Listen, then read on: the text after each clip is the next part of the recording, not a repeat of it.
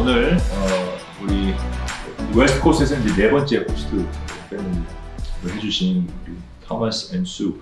제가 그 청소년들한테 challenge 주고 싶은 것은 그러한 인생 살을 때 어려운 그 고비가 많아요. 지금도 있고 뭐 목사님도 있고 그 그거는 다 있어요. 근데 그때 어떻게 그걸 해결해 나갈 수 있을까? 그리고 여행 같은 것도 중요하지만 여행 전에 자의, 자기 자신의 가치관이 제일 중요한 것 같아요. 음. 가치관이라는 것이 Who am I? 근데 지금은 감사한 것은 Who am I가 하나님의 자녀로서 거기에 센터리 됐기 때문에 화가 나도 righteous anger 이걸 통해서 justice를 어떻게 찾을 것인가 어려운 길을 걸어갈 때는 그게 목적과 펄퍼스가 있다. 제그거 여러분들 보면 여러분 뭐 다들 어렵다 그러는데 솔직히 초등학교 다니는 그 6학년 그리고 그 고 아, 중1이 뭐 미국 사람 밑에 칼ペ가가지고 막 그 배우면서 쉽지 않아요. 어뷰즈인데. 그렇죠? 쉽지 않고 소아미 가가지고 뭐 일을 하고 그렇죠? 근데 그런 걸 통해서 뒤돌아보면은 제일 어려 어렵다고 생각했을 때 그때는 죽을 것 같고 화도 나고 내 인생은 왜 이럴까? 그때 그거 그 고비더라고요. 그러다 보면은 죽지 않았고 그러다 보면은 뭐 어떻게 또 하루가 지났네. 1년이 지났네. 그러다 보니까 어 견뎌냈네.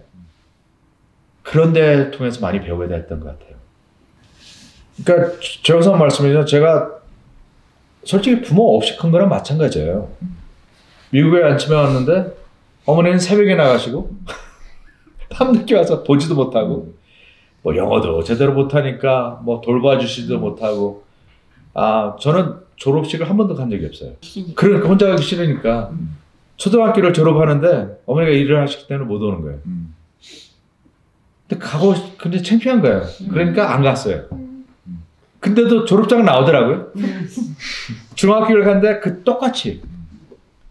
그러다 그 다음에 고등학교도 졸업식 안 가게 되고. 근데 그걸 가지고서 뭐 인생에 대해서 힘들다. 근데 너무 살기 바쁘니까 오늘 좀 도전을 주고 싶어요. 지금 힘들다고 생각하는데 그게 너의 그 장래를 퓨처를 딕테이트하는 게 아니다. 2차 대전 때 주이시 사람들. 아우슈위츠에서 서바이브 한 사람들 엄청나게 그 우리의 지금 이 얘기한 거와 비교가 안 되는 분들인데도 그걸 통해서 극복해 나갈 때 더 큰 일을 할 수 있는 것 같더라고요. 너무나 환경적인데 힘들다 힘들다 힘든 거 알지만 그렇지만 거기 그 힘든 거와 힘든 삶이 나의 앞날을 결정하는 게 절대로 아니에요. 지금 뭐 자, 자랑으로 들을 수 있지만 제가 이 자리에 서 있을 수 있다고 생각해 본 적 한 번도 없어요. 그리고 뉴욕 같은 큰 도시에서 Of Investigation 할수 있었다고 생각한 적도 한 번도 없었고 제가 초등학교 졸업하, 어, 졸업하면서 생각했던 것은 너무너무나 창피했고 졸업식도 안 가고 그리고 중학교 가야 되는데도 어머니도 못 가시고 그래서 굉장히 그 창피한 모습으로 그렇게 컸었거든요. 그러다가 느낀 것이 이게 내 나의 앞날을 결정하는 것이 아니다. 내 앞날은 하나님께서 딕테이트했기 때문에 거기에 그 순종할 때 거기에 믿고 그러다 보니까 뭐 젊은 나이에 뭐 문도 열어주시고 뭐 전쟁터에 간 것은 뭐 배우게 해주시고 또 군인들도 이- 인도해 주시고 그리고 계속 이런 걸 보면은 나의 그 앞날을 그러니까 커온 거 보면은 맞지가 않아요. 여러 면으로 그게 굉장히 감사한 것 같아요. 근데 그게 중요한 것 같아요. 나의 살아온 것이 나의 앞날을 좌우하지 않는다.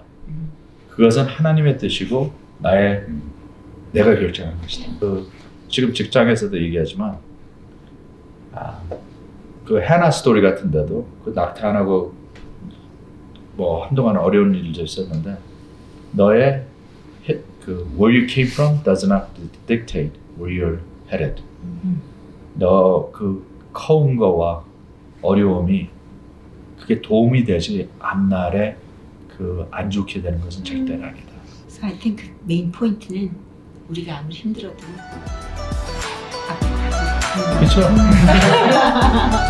뒤에 보면 마. You are not alone.